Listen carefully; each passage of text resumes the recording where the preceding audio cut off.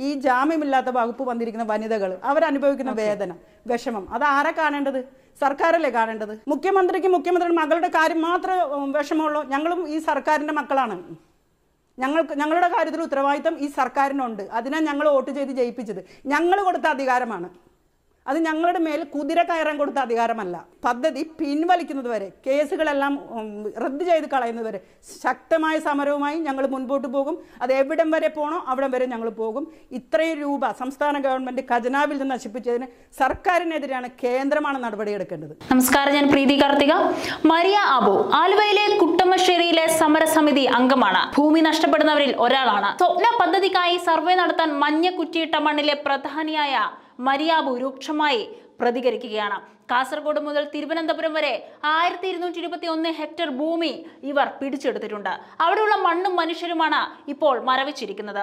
അവിടെ സർക്കാർ ഞങ്ങൾക്ക് വേണ്ടി എന്ത് ചെയ്യും? എത്രയും പെട്ടെന്ന് ഈ പദ്ധതി പിൻവലിച്ച് ഉത്തരവിടുകയാണ് റവന്യൂ വകുപ്പ് ചെയ്യേണ്ടത്. യാതൊരു അനുമതിയും ഇതിന് കിട്ടാതെ സെക്ഷൻ നാല് പ്രകാരം സാമൂഹ്യ ആഘാത പഠനത്തിനെന്ന പേരിൽ ഈ മഞ്ഞ കുറ്റികളുമായിട്ട് തൊണ്ണൂറ് കോടി രൂപയോളം ചിലവിട്ട് സംസ്ഥാന ഗവൺമെന്റാണ് പൊതുമുതൽ നശിപ്പിച്ചിരിക്കുന്നത്.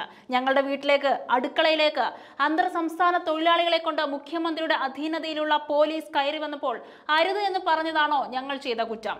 ഒരു മാനുഷികമായ പ്രതിഷേധമാണ് ഞങ്ങൾ നടത്തിയത്. പിണറായിക്ക് പിണറായിയുടെ മകളുടെ കാര്യത്തിൽ മാത്രമേ ശ്രദ്ധയുള്ളൂ. ഞങ്ങളുടെ കാര്യത്തിൽ ഒരു ഉത്തരവാദിത്തം ഈ സർക്കാരിനുണ്ട്. ഞങ്ങൾ കൊടുത്ത അധികാരമാണ് അതിനാണ് ഞങ്ങൾ വോട്ട് ചെയ്ത് വിജയിപ്പിച്ചത്. ഓഡിയോയിലേക്ക് പോകാം. പദ്ധതി ഇപ്പോഴും പിൻവലിച്ചിട്ടില്ല. പിൻ മരവിപ്പിച്ചിട്ടിരിക്കുന്നതാണ് മരവിപ്പിച്ചിട്ടിരിക്കുന്നത് മനുഷ്യരുടെ ജീവിതമാണ്. ഈ കേരളത്തിൽ കാസർഗോഡ് മുതൽ തിരുവനന്തപുരം വരെ ആയിരത്തി ഇരുന്നൂറ്റി ഇരുപത്തൊന്ന് ഹെക്ടർ ഭൂമി ഇവർ പിടിച്ചെടുത്തിട്ടുണ്ട്. അവിടെയുള്ള മണ്ണും മനുഷ്യരുമാണ് ഇപ്പോൾ മരവിച്ച് കിടക്കുന്നത്. അവിടെ സർക്കാർ എന്ത് ചെയ്യും ഞങ്ങൾക്ക് വേണ്ടി? ഇപ്പോൾ ജിജി ഫിലിപ്പ് പറഞ്ഞതുപോലെ ജീവിതം ഞങ്ങളുടെ ഒരു സന്നിഗ്ധമായ അവസ്ഥയിലേക്ക് മാറിയിരിക്കുകയാണ്. എത്രയും പെട്ടെന്ന് ഈ പദ്ധതി പിൻവലിച്ച് ഉത്തരവിടുകയാണ് റവന്യൂ വകുപ്പ് ചെയ്യേണ്ടത്.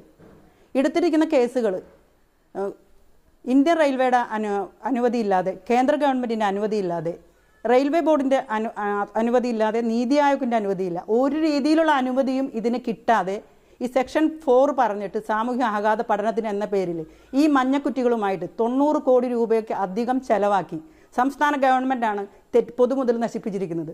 ഞങ്ങളെപ്പോലുള്ള സാധാരണ സ്ത്രീകളല്ല പൊതുമുതൽ നശിപ്പിച്ചത്.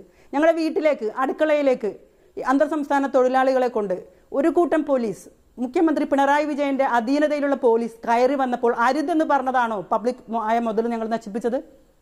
ഇത് കോടതിയിലാണ് ഇതിന്റെ തീരുമാനം വരുന്നത് ബഹുമാനപ്പെട്ട കോടതി ഈ കേസുകളെല്ലാം കോഷ് ചെയ്ത് കളയണം. കാരണം ഓരോരുത്തരും അയ്യായിരം രൂപ വെച്ച് ഇരുപത്തയ്യായിരം രൂപയാണ് അങ്കമാലിയിൽ അടച്ചത്. ഇത്രയേറെ സാധനങ്ങൾക്ക് വില കൂടി നിൽക്കുന്നു. കുട്ടികളെ പഠിപ്പിക്കാൻ പറ്റുന്നില്ല. ആ ഒരു അവസ്ഥയിൽ വളരെ കഷ്ടപ്പെട്ട് മലയാളികൾ ജീവിക്കുന്ന സമയത്ത് ഇത്രയും ക്യാഷ് അടയ്ക്കാൻ ഞങ്ങൾ എവിടെ നിന്ന് എടുക്കും? തീർച്ചയായിട്ടും ഈ കേസുകളെല്ലാം തന്നെ ബഹുമാനപ്പെട്ട കോടതി ഇടപെട്ട് തീർത്തും നിരവ വളരെ പെട്ടെന്ന് തന്നെ ജനങ്ങളുടെ ആശങ്ക ഒഴിവാക്കി പിൻവലിച്ച് കളയണമെന്നാണ് ഞങ്ങളുടെ ആവശ്യം. തിരുവനന്തപുരത്തും കോട്ടയത്തും സ്ത്രീകളെ വലിച്ച് ജീപ്പിലേക്ക് ഇടുന്നത് കണ്ടപ്പോൾ ഒരു സ്ത്രീകളെന്ന നിലയിൽ ഞങ്ങൾക്കുണ്ടായ രോഷം. ഞങ്ങൾ മാസ്ക് ധരിച്ച് സാമൂഹിക അകലം പാലിച്ച് തന്നെയാണ് കഴിഞ്ഞ ജാനുവരിയിൽ ഒരു പ്രതിഷേധം വെച്ചത്. അവർ പറയുന്നത് ഞങ്ങളെ സാമൂഹിക ആഘാതം അല്ല സാമൂഹിക അകലം പാലിച്ചില്ല എന്നാണ്. ആ സമയത്ത് തന്നെയാണ് ഇവിടെ നിയമസഭാ ഇലക്ഷൻ നടന്നു.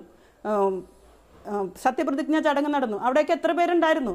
ഇത് വെറും പതിനഞ്ച് പേരാണ് ഞങ്ങൾ അവിടെ അത് കൃത്യമായ അകലം പാലിച്ച് ഞങ്ങൾ ഒരു പ്രതിഷേധം ഒരു മാനുഷികമായ ഒരു പ്രതിഷേധമാണ് ഞങ്ങൾ നടത്തിയത്.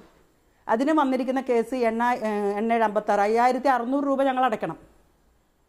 ആ സമയത്ത് തന്നെ പല പാർട്ടി സമ്മേളനങ്ങളും നടന്നു. അപ്പോൾ ഭരി- ഭരിക്കുന്നവർക്ക് ഒരു നിയമം സാധാരണക്കാരായ ടാക്സ് അടച്ച് എല്ലാ നിയമങ്ങളും പാലിച്ച് ജീവിക്കുന്ന ഞങ്ങളെപ്പോലുള്ളവർക്ക് വേറൊരു നിയമം. ഇത് എവിടുത്തെ അവസ്ഥയാണ്? ഇതാണ് ഒരു ഇടത് നയം. ഞങ്ങൾ വളരെ രോഷാകുലരാണ് ഈ കാര്യത്തിൽ. ഞങ്ങൾ വളരെ ആശങ്കയിലാണ്. ഈ പദ്ധതി മരവിപ്പിച്ചിട്ടില്ല. ജനങ്ങളെ മരവിപ്പിച്ച് ജനങ്ങളെ ആശങ്കയിലാക്കിയിരിക്കുകയാണ്. ഇല്ല ഞങ്ങൾക്കിപ്പോൾ കഴിഞ്ഞ ആഴ്ച പോലീസ് സ്റ്റേഷനിൽ നിന്ന് വിളിച്ചാൽ പറഞ്ഞത് ഇങ്ങനൊരു സംഭവം ഉണ്ടെന്ന്. പത്തൊമ്പതാം തീയതി ഇത് മരവിപ്പിക്കുന്ന കാര്യം ഏഷ്യാനെറ്റാണ് ആദ്യമായിട്ട് ടെലി ടെലികാസ്റ്റ് ചെയ്തത്. ഞങ്ങളെ വിളിച്ച് എന്നോട് വിളിച്ച് ചോദിച്ചിരുന്നു.